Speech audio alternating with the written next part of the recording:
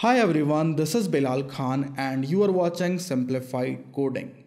So here we are building a login system Android application and so far we have already hit our login API. So we have our user interface for login, we got the user inputs and we already hit the login API. Now what we need to do is in case of a success response that means the user is successfully authenticated we need to save the bearer token in our local storage. When I decided to make this course I thought about shared preferences for this thing to store token locally. But recently we got an update that is Jetpack Data Store so Android team released this new library and it is meant to replace shared preferences. So I changed my project and I thought that I should use Jetpack data store instead of this shared preferences. So that is what we are going to learn in this video. We will learn this brand new thing Jetpack data store and we will save the auth token that we will get after a successful login using jetpack data store to our local storage. So let's see how we can do this in our existing project. So this is our project and the first thing that we will need to do is we need to change something in our dependencies. Basically we need to add jetpack data store and a couple of more libraries. So let's see what we will do here so first I will go to app level build.gradle file. And here we have added already a lot of things.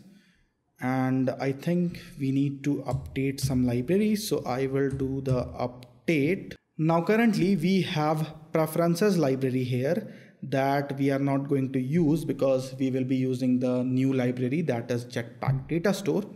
So I will remove this library and let's sync our project now instead of preferences, I will add Jetpack data store. Now I will paste the required dependencies here. So I will paste the first thing that we pasted as uh, it is the data store preferences. So with data store, we get two options. The first one is preferences where we can save key value pairs. And the next one is data store proto that we are not going to use in this video. So we have added data store preferences and we also added this lifecycle components that is live data and lifecycle runtime. We also need these things. So we have added all the required libraries. Now we can sync our project. Once the sync is done, we will create a new class to manage our data store preferences. So what I will do is I will create one more class here and I think I will create a new package. So I will create a new package and I will name it data. Now inside this data package I will insert all these three packages that are network repository and responses. So let's move everything. Now inside this data package I will create a new class that is called user preferences. So I will create a new file named user preferences like this. I need to create a class so I will write user preferences like this. And to this class I need the context instance. So I will define here context of type context. Now from the help of this context I will get the application context so I will write here private val application context equals to context dot application context.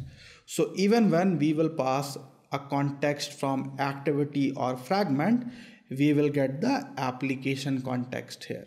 Now after getting the context, actually the application context, we will create our data store instance. So here I will write private val data store and it is of type data store and we have data store preferences. Now we will create an init block and inside the init block I will initialize the data store instance. So here I will write data store equals to application context dot create data store. And to this function, we need to pass the name for our data store. So here I will pass a simple name. Let's say my data store. You can pass any string here. And here we are getting some error. This is because I have imported the wrong preferences class here. So what I will do is I will delete this preferences import and I will import the correct preferences that is Android X data store dot preferences. So we will import this preferences and we are done.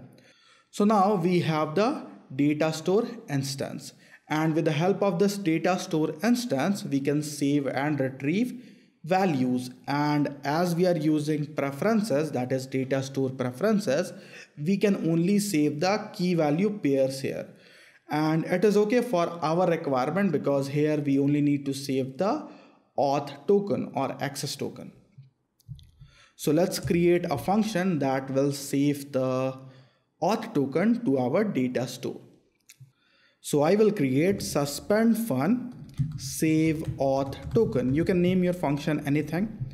And to this function, we will pass our auth token that we need to save and it is of type string.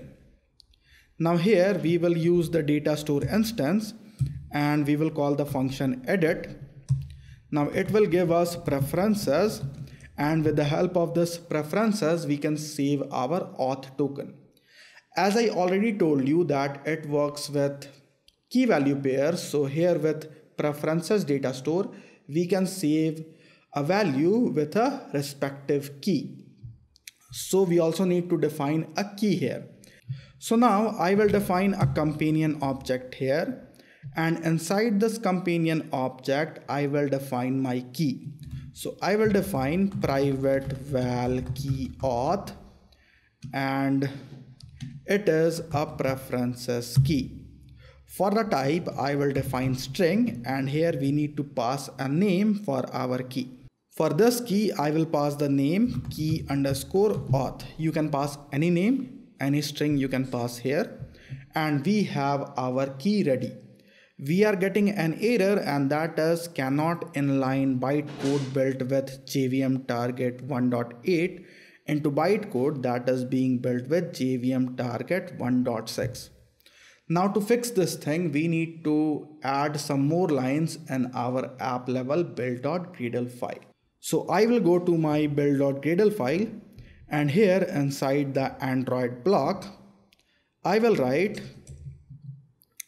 compile options and I will define it as Java version 1.8 and we will also define Kotlin options and that is JVM target equals to Java version 1.8.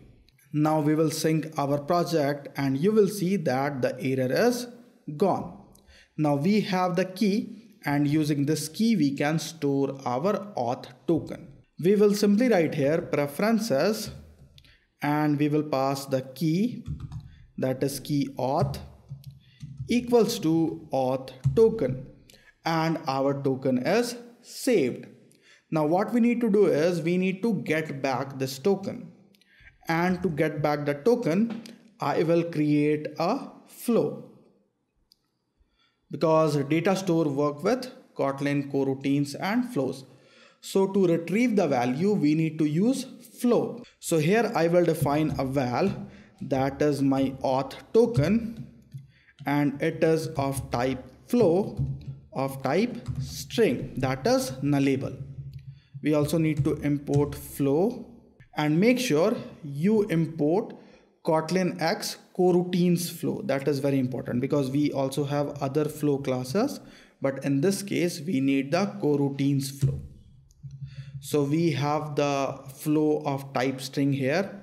Now what I will do is I will define a getter for my flow and inside the getter, we will get the saved auth token. So what I will do here is I will write data store dot data dot map and inside the map we will get the preferences again and with the help of this preferences we can get the auth token So here we will write preferences and then our key because we are saving here key value pairs and to retrieve the value we need to provide the key.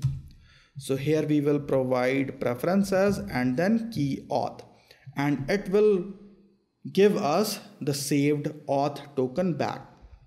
In case no value is saved, we will get a null string. So we have our user preferences ready and we can use it to save our auth token that we will receive after a successful login. And to use this class, we will go inside our base fragment and in the base fragment only, we will create our preferences instance. So what I will do here is I will write protected late init var user preferences of type user preferences. Now we will initialize this user preferences instance inside the on create view function. So here we can initialize user preferences equals to user preferences. Now this is not a good idea because we should use dependency injection for getting the instances. But right now I am not using any dependency injection in our project. So that is why I am doing like this. But later when we will implement the dependency injection in this project, we will remove all these things and we will use di for getting the required instances. So here we need to pass require context and we have our user preferences instance. Now I will go to my login fragment and when I will receive a success response, I will save the received auth token to my user preferences. So here I will remove this toast and I will write here user preferences dot save auth token and we can pass the auth token from our login response.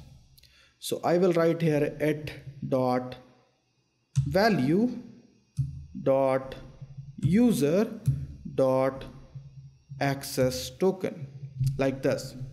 And it will save our auth token to our user preferences. But we are getting an error because our save auth token function is a suspending function and we need a coroutine scope to call this function. And again it is not a good idea to call it directly but for now I am doing it so what I will do is I will use here view life cycle scope. Actually it is life cycle scope.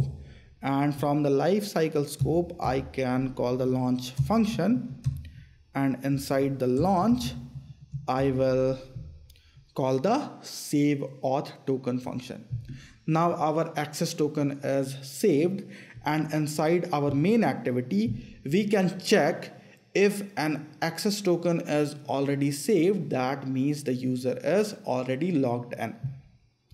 So what I will do here is I will write uh, first I will get the preferences here. Again it is not a good idea but just for now I'm doing it. So I have user preferences equals to user preferences and I will pass the context as this. Now from the user preferences I will get the auth token. And I will get it as a live data. And then I can observe it. So this is the owner. And then I can have an observer like this. And inside the observer I will get the auth token as a string. Now here I will check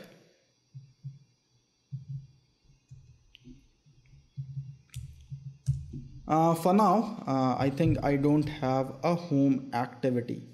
So yeah we don't have a home activity for now. So just for now I will just display the token as a toast. So let's display the toast. So I have toast. So here we will pass this. For the text I will pass it and if it is null I will pass token is null. And rest of the things are okay. Now whenever we will run the application we should see a toast displaying our access token.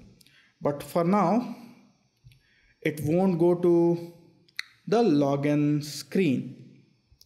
Because to go to the login screen we need to open the uh, auth activity. So we also need to add start activity and we will start the activity using intent. So we have intent this and then auth activity class dot java like this. So now let's try running the application and see whether our token is getting saved or not so i will run the application so this is our application now let's try login in so i will write my email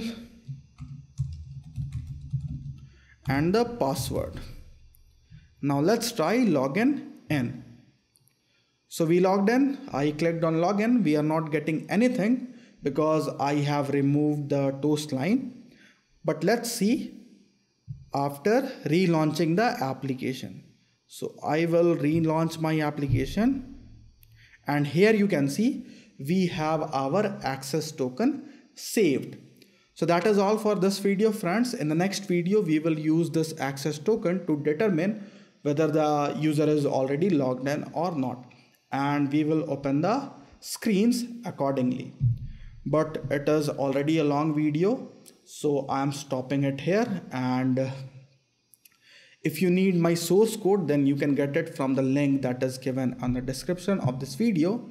And you will also get a link to read more about jetpack data store. So that's all. And uh, if you like this video then please hit on that like button. Subscribe to my channel and share this video with all your friends. And i will see you in the next video where we will move ahead with this project so thanks for watching everyone. This is Bilal Khan. Now signing off